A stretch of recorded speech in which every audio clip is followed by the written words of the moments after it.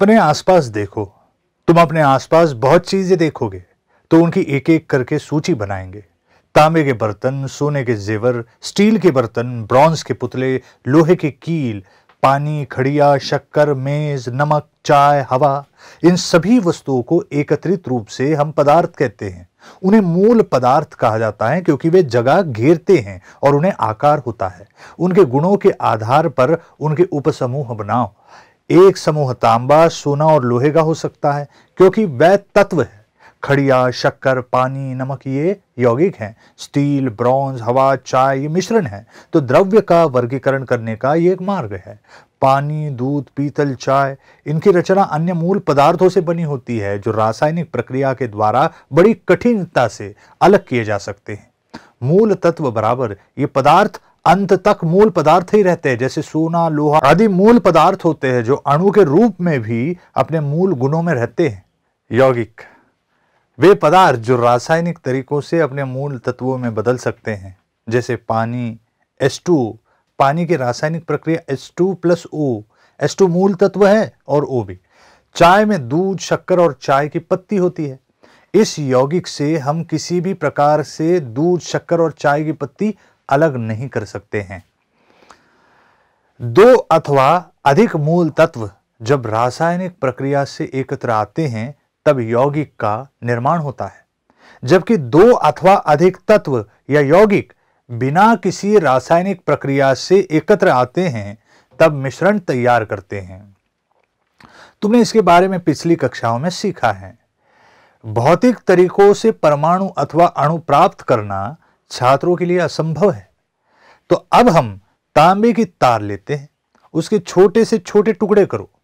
जो सर्वाधिक छोटा हिस्सा तुम्हें मिलेगा, जिसके तुम और टुकड़े नहीं कर सकते, उसे परमाणु कहते हैं। अब सोने की तार की कल्पना करो और यही प्रयोग करो। अंत में तुम्हें सोने का परमाणु मिलेगा।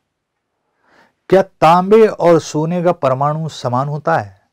क्या तुम दोनों के लिए एक ही कीमत अदा करोगे? नहीं। तांबे और सोने के परमाणु समान नहीं हैं। उनका दाम अलग अलग होगा, क्योंकि हम जानते हैं कि सोना बहुत महँगा है। अलग परमाणु संरचना के कारण तांबे और सोने के भौतिक व रासायनिक गुण अलग हैं, जिसके बारे में हम बाद में पढ़ेंगे। क्या तुम परमाणु की व्याख्या अब बता सकते हो?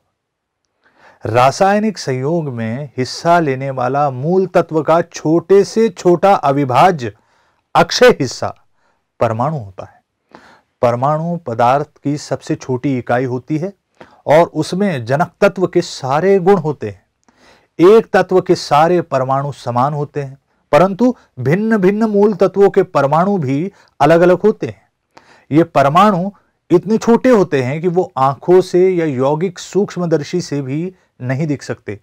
तत्व का सबसे छोटा अभाज्य घटक परमाणु होता है, ऐसा पहली बार किसने कहा था? क्या तुम्हें पता है? भारतीय वैज्ञानिक कणाद मुनि ने ईस्वी सन छठवीं शताब्दी में तत्व के अति सूक्ष्म अविभाज्य अक्षय घटक को परमाणु नाम दिया था। ग्रीक तत्ववेत्ता डेमोक्रेटिस ने ईसवी पूर्व पांचवी शताब्दी में यह प्रतिपादित किया था कि मूल तत्व कणों से बने होते हैं और उन कणों को विभाजित नहीं किया जा सकता। द्रव्य के सूक्ष्म कण को डेमोक्रेटिस ने एटम नाम दिया। ग्रीक भाषा में एटमॉस का अर्थ है विभाजित ना होने वाला। तो अब खड़िया का टुकड़ा लो।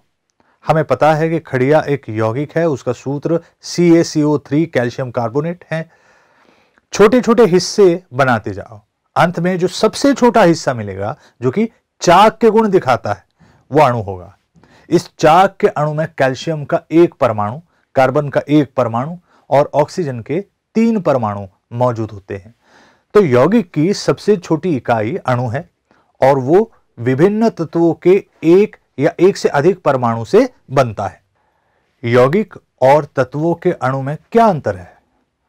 मूल तत्व के अणुओं में समान प्रकार के परमाणु होते हैं। यौगिक का अणु अलग अलग प्रकार के परमाणुओं से बनता है। H2O के अणु यौगिक। NaCl के अणु यौगिक। CaCO3 चाक के अणु यौगिक।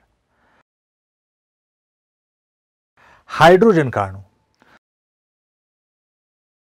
कुछ तत्वों के अणु एक परमाणु केवल एक ही परमाणु हो सकते हैं। उदाहरण, हीलियम, दो परमाणु। उदाहरण, ऑक्सीजन अथवा बहुपरमाणुक, दो से अधिक परमाणु। उदाहरण, ऑक्सीजन। आदि हो सकते हैं। 1803 में डाल्टन ने परमाणु को एक कठोर ठोस गोले के समान, जिसमें कुछ भी संरचना नहीं है, ऐसे रूप में प्रतीत किया था। डाल्टन के परमाणु सिद्धांत के अनुसार परमाणु में द्रव्यमान का वितरण सभी ओर एक समान होता है। डाल्टन का परमाणविक सिद्धांत कहता है कि पदार्थ परमाणुओं से बने होते हैं तथा परमाणु अविभाज्य और अविनाशी होते हैं। दूसरा, एक ही मूल तत्व के सभी परमाणु एक समान होते हैं तथा भिन्न तत्वों के परमाणु भिन्न होते हैं और उनके द्रव्यमान भिन्न होते हैं।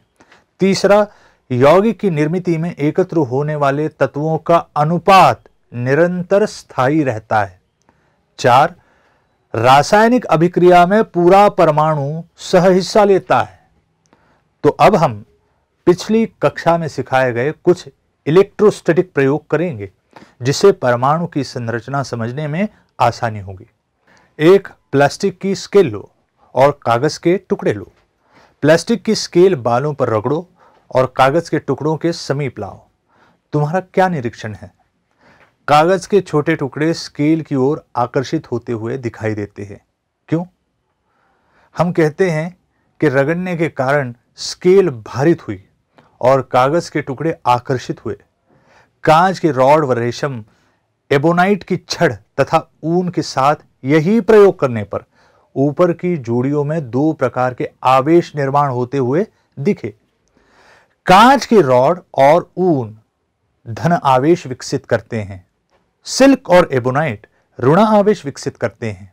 इसी वजह से वैज्ञानिकों को विश्वास हुआ कि परमाणु की कोई आंतरिक संरचना अवश्य ही है। परमाणु के अंदर धन आवेशित और ऋण आवेशित कण होने ही चाहिए। कैथोड रे ट्यूब के साथ काफ़ी प्रयोग करने के बाद सर जे जे थॉमसन ने अठारह में कहा, परमाणु में ऋण आवेशित कण होते हैं और उन्हें इलेक्ट्रॉन नाम दिया।